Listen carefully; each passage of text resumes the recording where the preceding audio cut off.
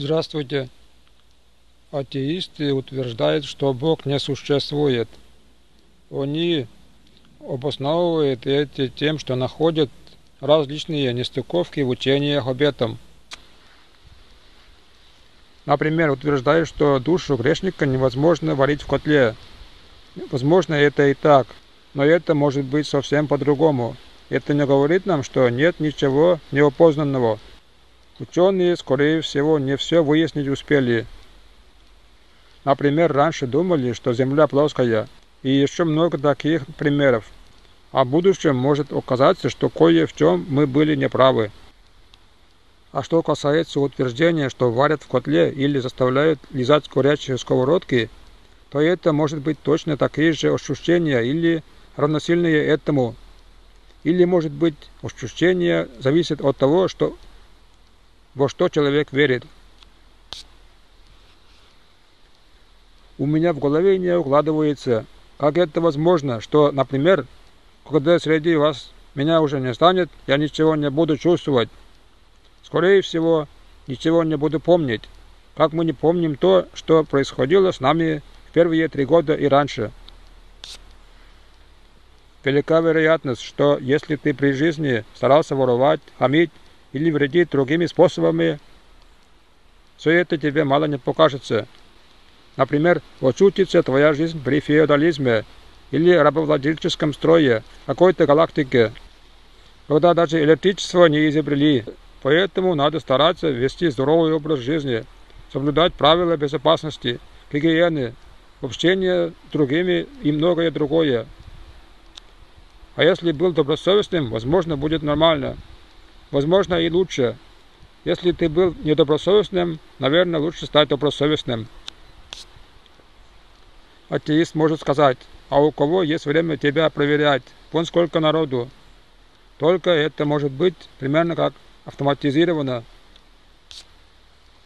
Торопиться проверить это на себе путем ухода категорически запрещается и очень опасно, так как это только гипотеза, так как еще есть вариант, что даже если ты ничего плохого не сделал, в дальнейшем тебя может ждать еще худшая участь. Но, надеюсь, это не так. И поэтому лучше стараться развиваться. Так вроде и жить интереснее. Тебе же, например, не интересно, когда ты побеждаешь в шахматы только при помощи подсказок наблюдателя. Поэтому, наверное, надо распространять это видео, чтобы как можно больше людей решили стать добросовестными, чтобы было меньше негативных людей и явлений. Нам всем в таком мире стало бы жить лучше и безопаснее. Даже если все станут добросовестными, скучно не будет. Появится время для науки и техники, спорта и искусства. Сумасшедшие, наверное, будут, но их должна появиться возможность лечить. А то сейчас, например, в некоторых странах нет возможности их лечить, и они опасны для окружающих. Если вы со мной не согласны, желательно написать в комментарии, в чем именно. Возможно, я что-то не учел. Если вы согласны со мной, наверное, надо копировать ссылку и вставить во вкладки сообщества ваших каналов, чтобы послушали ваши подписчики тоже. Еще можно рассылать в социальных сетях. Кто знает иностранные языки, можете пересказать своими словами на своих каналах и выслать иностранцам. Кто общается с иностранцами по-английски, можно выслать ссылку на видео и предложить прочитать субтитры. Я постараюсь сделать субтитры. Если согласны, пусть распространяют. Еще я приглашаю подписаться на свой канал. Тут я рассказываю и показываю по возможности новые анекдоты. Иногда я делаю это как музыкальный клип. Я планирую делать танцевальную музыку. Поэтому приглашаю подписаться, даже если не знаете русский язык. Тогда вам может понравиться музыка. Я слушаю иностранные песни, даже не понимаю слова, так как много таких, где мне нравится музыка. Деле изготовления клипов я пока начинающий, но я планирую развивать это. Вам, наверное, будет интересно наблюдать, получится у меня или нет. Подписаться всегда успеете. А теперь анекдоты. Блюдко. Вовочка, как ты думаешь, чему учит людей сказка о красной шапочке?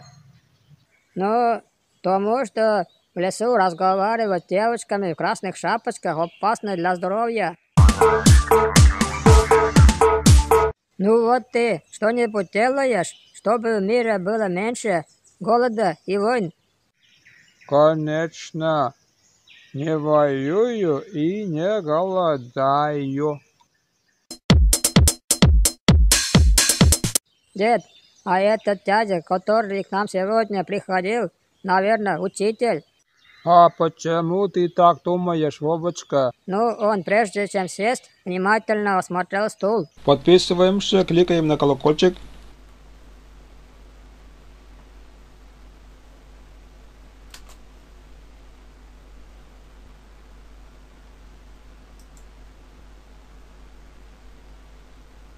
Вперед так.